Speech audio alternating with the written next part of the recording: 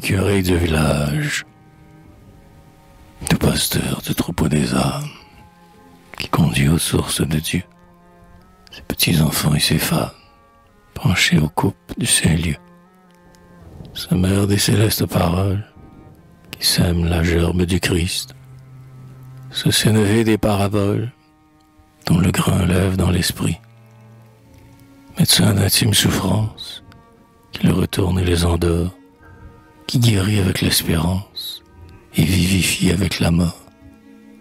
Barde de la lyre infinie, qui, pour chanter dans le grand cœur, n'a pas besoin d'autre génie que des battements de ton cœur.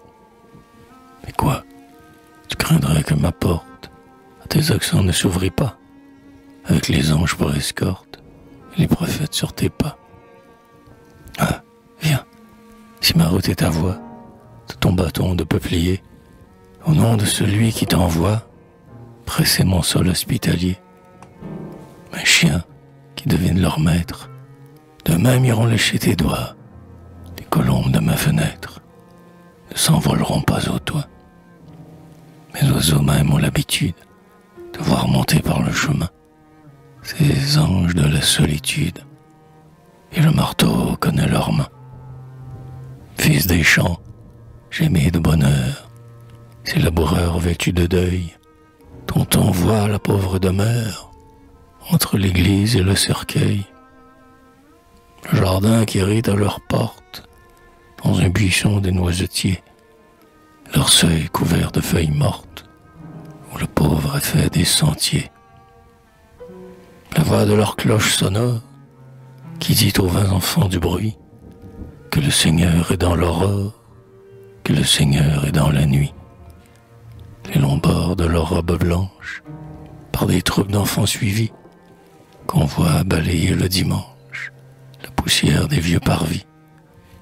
Cette odeur de myrrhe et de rose qui s'exhale autour de leurs pas, et leur voix qui parle de choses que l'œil des hommes ne voit pas. Quand le sillon courbe le reste, le seul travail de leurs mains, à l'œuvre du Père céleste, pour un autre prix que du pain. L'onde qu'ils versent désaltère d'autres soifs que celle des sens, et de tous les dons de la terre, ils ne moissonnent que l'encens. Viens donc, détachant ta ceinture, au foyer des bardes t'asseoir. Ils sont les voix de la nature, et vous en êtes l'encensoir. Que t'importe en quel caractère du Seigneur est écrit, pourvu qu'il soit lu sur la terre et qu'il remplisse tout esprit. Quand Jésus gravait sa pensée sur le sable avec un roseau, pleurait-il à l'être effacé sous l'aile ou les pieds de l'oiseau?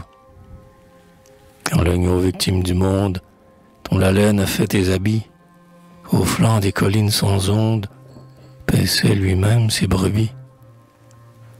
Loin des piscines de son père, il n'écartait pas de la main la pauvre brebis étrangère, broutant aux ronces du chemin. Et quand il glanait en exemple, et puis laissait dans le buisson, et portait tout petit, au temple, les prémices de sa moisson. A-t-il pas dans sa gerbe, pour l'offrir au Père commun, des brins verdoyants de toute herbe? Et des plantes de tout parfum